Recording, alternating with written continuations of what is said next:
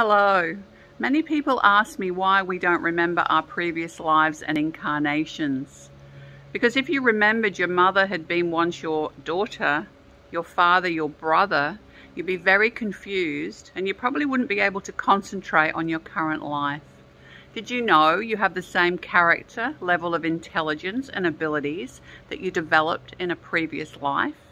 Now everyone reincarnates until enlightenment is achieved and this can take countless lifetimes. But eventually, every soul will attain liberation from the laws of karma and reincarnation and rejoin with the Creator.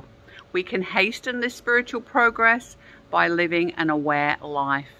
And the conditions in this life are the result of man's free will and action.